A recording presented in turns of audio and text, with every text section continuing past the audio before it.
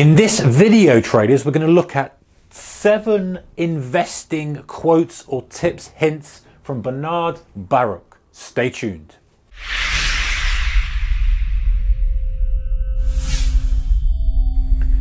Hey traders, a very warm welcome to you. So Bernard or Bernard, depending on where you're from in the world, Baruch, I think I pronounced it correctly, someone correct me if I'm wrong. He was born in the 1870s, something like that. Very active investor, 1920s, 1930s, around that time. Made a lot of money, millions then, which is probably an awful lot of money now, and then went off to help the US uh, with the world wars and kind of put his efforts into that kind of endeavor. Anyway, he made a lot of money.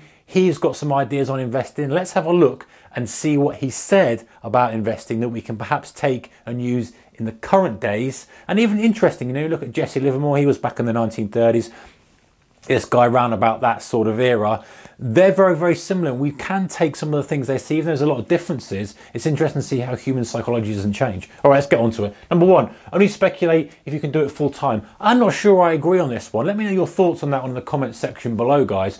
I think now with modern technology, where we can screen basically a massive amount of charts on a computer in a couple of hours, we can do our technical analysis if we're trading, we can do our fundamental analysis if we're investing, we can leave resting orders, pending orders, stop loss orders, trailing stops. All the technology we've got allows us, I believe, to be able to speculate on a part-time basis and still be relatively successful at it. Speculate as in investing or trading. I don't think you have to be doing it full time. Now, of course, when he was investing, I'm sure it was the old ticker tape style. You were making telephone calls, you were sending telegrams, however it was back then. Uh, they definitely wasn't trading on an iPhone, that's for sure. So perhaps to be able to catch the turns, to be able to be there for the intraday price movements and this and that and the other, you probably had to do it full time. So that might be more relevant to the era that he was doing this in. All right, number two, ignore insider info. That's a pretty interesting one because you know if you read the book by Jesse Livermore, the old uh, classic that if you're a subscriber, you'll know that I pull this one out quite regularly from my bookshelf, Reminiscence of a Stock Operator. He talks about insider info, and that was the worst trade that he did. One of the worst trades that he got persuaded to take this trade on. I can't remember if it was a cotton trade or a wheat trade. One of the other. One was a good trade, one was a losing trade. I think it was the cotton trade. Supposedly insider info. He took it, ended up being one of his worst ever trades, and lost an awful lot of money on it. And it makes a lot of sense because the justification for the trade is that you believe the person is telling you the truth on whatever insider info, whether that is illegal or legal. Let's just forget about the leg- put that to one side, the legality of that at the moment. But if someone is saying insider info and then you're going in and trading on that, you're relying on them to A, be truthful and B, tell you when to get out or C, know that he's not even being duped himself into doing it. So I think it just makes sense. And, of course, from a legal perspective, you don't want to get yourself into trouble and be out of the game uh, because you have been arrested. so, uh, number three, um, I think that's a good one. That I think I'm going to give this one a half because I don't think that's quite true in these day, uh, this day and age. Let's go on to number three anyway. Number three, don't try to pick tops or bottoms. this is interesting, you know, because if you look at PTJ, Paul Tudor Jones on one side, and then you look at guys like him and other real decent traders, even this, in, even in, in today's, uh, in, in the modern day, in the, in the 21st century, they say exactly the same thing. I don't pick tops or bottoms. But then on the other side, you've got Paul Tudor Jones who says, listen, I make most of my money from taking the, the turning points. I'm very good at picking tops and bottoms. So I think you need to be self-aware of what you're good at and what you're not good at. If you find you're good at finding those turning points, whatever it may be, whatever strategy you use, stick with it. You know, don't just not do it because someone says you shouldn't. But if you're starting out and you're just getting into trading, then perhaps you need to look at not trying to turn, find those turns and look for the trends already and then look to get on board those trends however you do it. So kind of divert your energy into that as opposed to picking the tops or bottoms, knowing that the majority of people probably don't do so well picking tops or bottoms, but there are some who still do well, if that's kind of makes sense. So I think that's reasonable, good advice. But I would also say if you are find yourself you've got a little bit of um an edge doing it, why not stick to it? All right, let's move on. Number four, focus only on a handful of stocks. This makes a lot of sense to me from an investing perspective.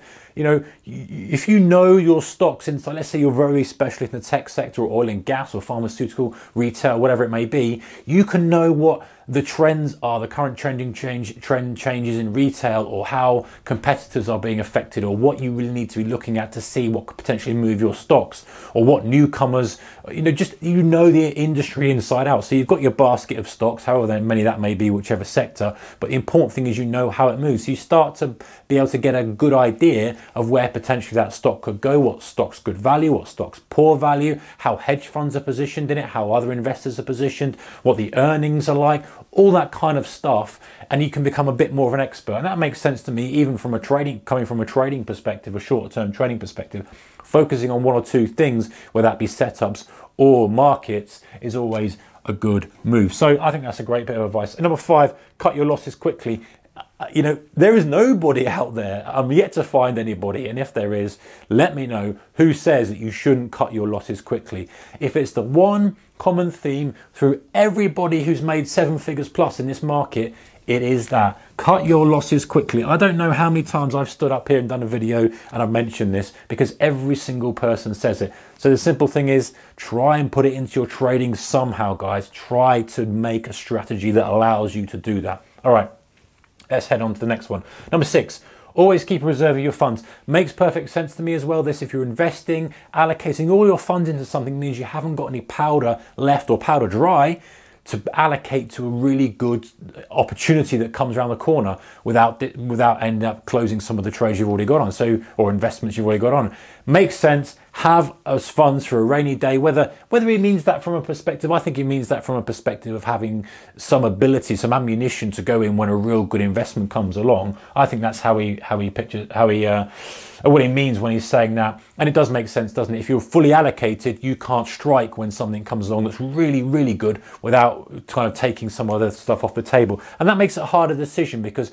not only have you got the decision whether to invest or not in this stock or in this market or in this whatever it may be but you've also got a secondary decision of is it going to be better performing than the stuff I've got already, which is the one I ditch, how much do I take out of it?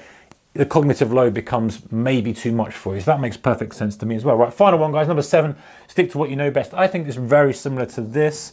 Um, but I guess the sort of side angle for this is if you come from a background of pharmaceuticals, you come from a background of tech or whatever it may be, maybe you can leverage on that and invest in stocks and in companies that are involved in the sphere that you're familiar with, and then use that along with number four. So you get get your skill set, then you say, okay, well, I'm going to focus on that sector because I'm from that sector, I understand that sector, that's my skill set, and I've, I've or, or I've managed to learn a lot about it because I enjoy that sector, and then picking your handful of stocks and then focusing on those and then trying to invest in the ones that you believe are going to give you the best return for your investment. All right, guys, seven of them interesting good from back then. A lot of them work uh, in this day and age as well. So maybe we can take some of those on board, improve your trading and investing. Take care. See you next one. Bye bye.